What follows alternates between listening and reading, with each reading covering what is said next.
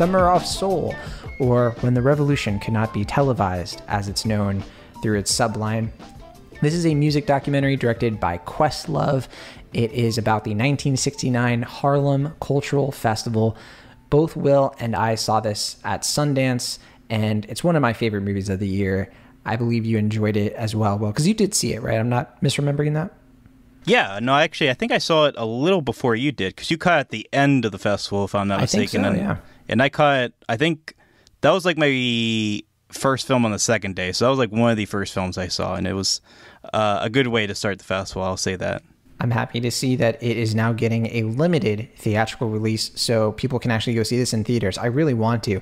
It hit limited release on June 25th. It expanded this past weekend. Searchlight, the company that used to be Fox but is now owned by Disney, is currently distributing the film. And if you can't see it in a theater, if it's not playing in your area, you can also watch it on Hulu right now. And like I said, critics are really liking this. And I think the reason people like this is because there's a really good story behind this movie. I think people really like it when they get clued in or reminded of something that's been like forgotten to history. I think a lot of the successful documentaries have been kind of like that. It's like, oh, here's this thing that like people don't talk about enough that they should. It's such an epic thing. And then if a documentary can kind of sort of relitigate an event and then bring it to a cultural consciousness, I think that it rightfully captures the attention of people who honest who you know people in the industry people who are critics people who want you know information and pop culture to be more aware of certain things so that's kind of the setup for summer of soul in terms of what it's capturing it really is phenomenal because well did, did you know about this event at all this this cultural festival going into this movie No, I went in pretty cold. yeah, same here. I, I had no idea what this was. And, you know, as soon as the movie starts, you get a really good sort of like introduction to this was the black Woodstock. But like even saying that kind of feels like reductive, you know? It's like it was its own thing. It was it was something that was this epic music festival. Back in the days when you could watch a music festival for free. It took place in Mount Morris Park which is located in Harlem. It's now called Marcus uh, Garvey Park. So if you are in New York right now, you won't find it. Um, but this festival went on for six whole weeks. It had a huge, huge attendance. Lots of people came out to see this, and you see it in the archived footage.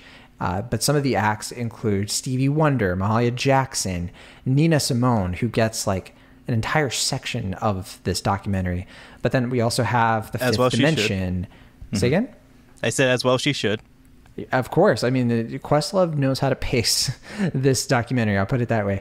The Fifth Dimension is all the staple singers, Sly and the Family Stone, Gladys Knight and the Pips. I mean, watching this movie, if you, I mean, you don't have to be a music junkie to really get the full experience out of this movie. But I, I think, like, if you are like obsessed with this era, you're gonna. There's a lot to feast on with this but also like what happens around this festival is that it was very obscure. It was the kind of thing that people did, that kind of got erased as a lot of like black milestones and like black american milestones tend to happen you know?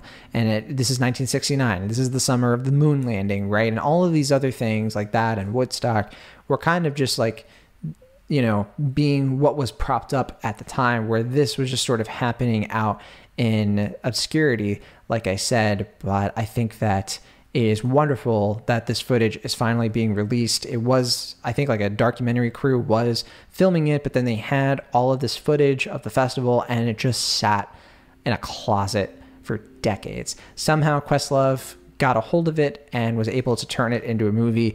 A long but really satisfying film. One of my favorite documentaries in recent years, uh, and I think definitely my favorite documentary of 2021.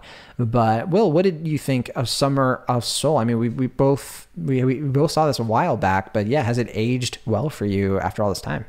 I would say so. Yeah. I mean, I haven't seen it since, but I mean, just thinking back on it, it just the thing that that always sticks with me is just like how warm and celebratory it is just by design. I mean, you know, obviously Questlove got lucky with having, you know, this tremendous footage that he found, but I do think generally throughout the film he does showcase, especially as a first time filmmaker, some adeptness that I think proves that it's not just like he you know hit the jackpot. Not that I mean, obviously he did get lucky, but I mean, there's one scene in particular I remember watching and just being like, okay, like this is like proof that he knows what he's doing, and that's the the scene where we get kind of like the broader culture reaction where uh, you know, like the moon landing's happening, but we then cut back to like the festival and we kind of get like this broad scope of like, this is what's happening. It, it, feels like a better version of like what they're trying to do in that one scene in First Man, where like it was kind of yeah. trying to touch on something similar, but like Questlove, I think, gets it down in a way that just like really, I think, crescendos the film in a way it's like, okay, like this is like, it puts you in this place and time in a way that doesn't take you out of it, doesn't like feel like it's like, invading the the concert footage and stuff. It's not like just like and then this is what's going on. Back to music, like it, uh, it flows together in a way that I think is really impressive. Uh, and showcases uh, Questlove's um, adeptness as an early filmmaker. But by and large, it's just like it's a really fun, emotionally passionate film that is you know just filled with all these great performances. And as you're suggesting, it has this like urgency to it where it feels for a lot of obvious reasons like it needs to to be this work of preservation that needs to to be shown and seen to to to be heard and and finally just realized in this major way being that it's been forgotten for so long. And uh, initially, when I saw the film, I was kind of back and forth on the, uh, the the like talking head segments.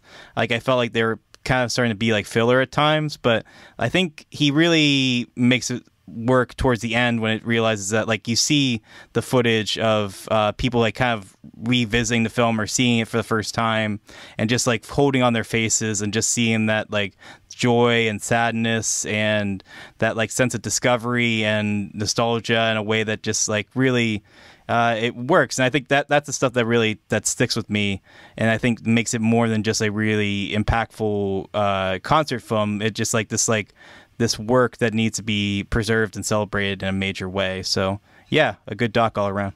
It really is, and I think like it would have been good enough if Questlove had just sort of presented this festival as is, kind of packaged it up and been like, it's fun. It's like, oh, it's this, you know, kind of thing that you haven't really heard about, probably, like people like us, I suppose. But instead, I think that he really frames the context so well in this. And I think, like, yeah, like you were saying with First Man, it's like the reason that scene kind of feels out of place is because the rest of the movie isn't about that. So it's kind of like just sort of that to me felt like filler in First Man, honestly. Of like, oh yeah, here's here's also this, and like, I mean, I know what the point of that scene was to sort of be like, man, like all of these obstacles, all of this like public anxiety about the situation, and people being like, we shouldn't even be doing this, we're wasting the money. Like, it does serve a function, but I think yeah. because the rest of the movie is like glorifying and lionizing Neil Armstrong, that it's kind of like, right, it's a, it's a different energy, it's a different tone. I think in that film it felt more conscious. I guess like it's like he just kind of felt like he needed to have that scene in for his like exactly, like uh, yeah. yeah like it, like it felt kind of obligatory in a way that in this film it's like it's adding to the thesis. It's it's clearly like it's part. It's a it's a major function of the film. It's like what he's trying to get at broadly throughout this film, and I think obviously that's that's why it works so much better in this context than it did there.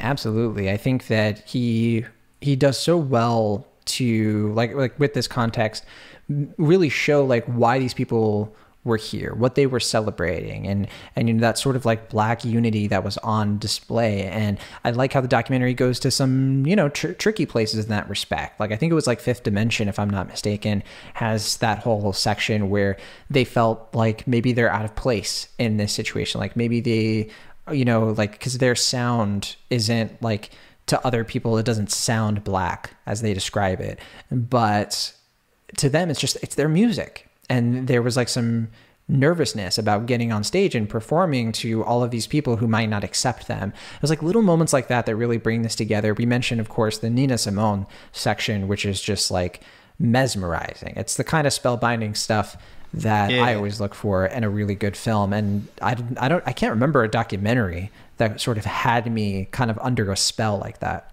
Yeah, no, I liked also this film because it has the power of the footage. It doesn't have to just be like characters always just talking about like why this artist is great. They can just show you real footage of just the artists in their element and doing, you know, some for some of these artists like at their peak, you know, at their like uh, some of their greatest heights as musicians, and you can just like Yeah. see it and live in it. And obviously, you know, the footage is preserved very well, so it feels very crisp, and it's easy to feel like living in the moment in a way that uh, is obviously very electrifying and powerful in many respects. But then some of the artists are just starting out. And so you get to see that too. You get to see Stevie Wonder, you know, really at like the very beginning, I think, of his career, if I'm not mistaken. And yeah, so he's like stuff- uh, early twenties, I think. I yeah, think. he's very maybe- young at that point. Maybe mid. A- yeah.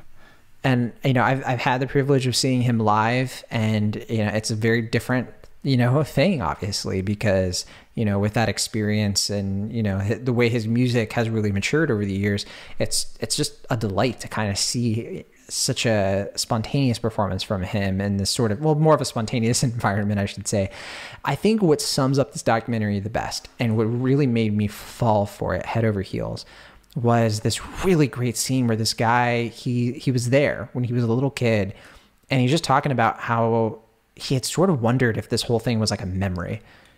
Like oh i i, I this maybe this didn't even Yeah. happen. I i just mm-hmm. dreamed it you know because it was such a transportive experience. And like it made me think of like the memories i've had as a kid and i thought that maybe those are dreams. But then you get to see his reaction to seeing the footage. I mean it's like ah that is just good stuff. Yeah, I mean, it's like it's almost like deliberate, undeliberate form of gaslighting, where it just kind of feels like so many great works of art have just like been swept under the rug, and either like through the media or just like culturally, they just don't get recognized as much. And this movie, like I was saying before, just has that urgency of feeling like it needs to be relived or needs to be preserved or needs to be seen in this fashion to like know that it wasn't uh, just thing that was forgotten or brushed over over time that it is to be recognized and celebrated and you know it's very uh in some ways simple intent but i think it's also very impassioned and meaningful and uh, it succeeds i think in many different respects I definitely agree. And, you know, you kind of mentioned one of the things that, you know, maybe irked you a little bit, you know, and, and I don't get the sense that it was necessarily like a deal breaker or anything like that. But, you know, the talking heads and the prevalence of that. There were times when it would cut to people talking and I'd be like, I kind of just want to see the music, please. Yeah. like if, there was a bit of that. And it, it, it did It get a little annoying at times. Yeah, I mean, just like some stuff towards the beginning just feels a little perfunctory.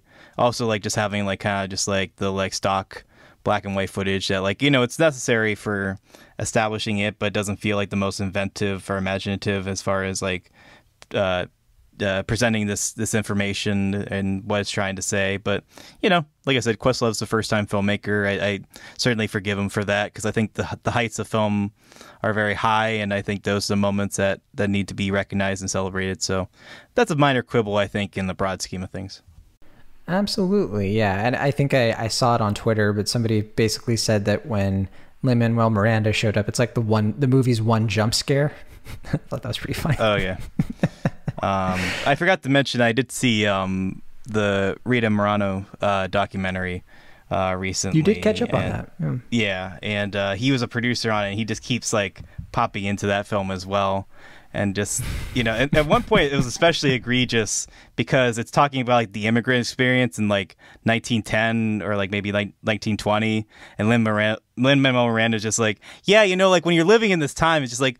Sorry, Lin Manuel Miranda, but you, you cannot comment on what it was like to be an immigrant. I just wish somebody would be the like, yeah, "This is Harlem, Lin. Like, does this look like Washington Heights to you? No, right. Well, I mean, you know, I mean, he didn't really grow in Washington Heights. That's either, right. He right? grew up Yeah, north of Washington Heights. right. Oh man, It was just one of those moments where it's just like, you, you don't have to comment on this Lin Manuel Miranda. You can just let the movie speak for itself. But yeah, he's like, I'm know. just, I'm just saying. I, yeah, can I just say this real quick? No, no, that's all right. Just closing the door kind of slowly. Um, no, no hate to Lin Manuel Miranda over here. Uh, just, just pointing that out. But yeah, I, I adored this movie and. I want to see it again as soon as possible. I can't wait to see this on the big screen if I get a chance to do so. It's just, it's what documentaries should be, I think, in every way. Well produced, well managed. The editing is really, really solid. I think that it, it takes you to another place. And I think it's going to teach people a lot of things. I think other people, it's going to remind them of something, bring light and truth to something that maybe had been forgotten. And it's going to reveal things to people who may have chosen to forgotten or you know would have liked to have known a long time ago which is definitely where i fall. And it's stuff like that that i, I certainly find so warm about this documentary. And uh, i think you use the warm warm as well because it's warm. I mean it's it's a hot summer movie. I you know I, I felt the heat watching that movie in january. And uh, yeah i just think this one it hits it hits all the right notes because it's about music right? Uh, yeah. I mean, to go one step further, it's Not quite flat? a crowd pleaser as a Yeah, documentary. yeah, I like that. Um, yeah. I mean, yeah. It just it's a very accessible film. I, I think it's just it, it has very clear intent. It, it knows what it's trying to say and communicate, but it's also just about having a good time and celebrating the artistry and music and, uh, and iconography of these many artists and recognizing them, like I said, either at their heights or soon to be heights. Uh, and it's just a just a damn good time. So I'd give it uh, a pretty warm B plus. you give it a B plus. I give it the A minus. I, I think this go. one's a must see. So I'm going high. One of my favorite films of the year for sure. I think this is my definitely my top ten right now. So definitely go check it out when you have the chance. It's a long movie, but I think it is very rewarding. And I mean, you can at least see it on Hulu. And I think if you have a great sound system, you are going to be in for a treat. It is 117 minutes long. Yeah, I mean, I think it, you know it's worth mentioning that like we saw it at home on our computers through Sundance, and I think it doesn't rob the experience in any fashion to watch it at home. But if you can see it in theaters, I'm sure it's an amazing experience.